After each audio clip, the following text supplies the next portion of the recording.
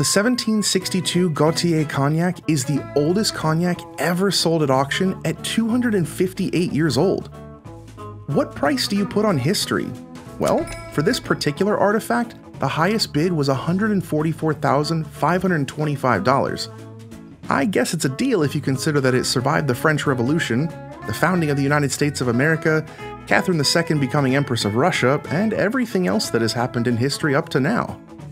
Why learn about history when you can drink it? This cognac is also only one of three in existence. It also still had the original label on the bottle, which helped drive the price up.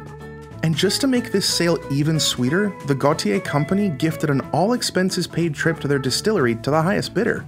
Wow, it really pays to be rich.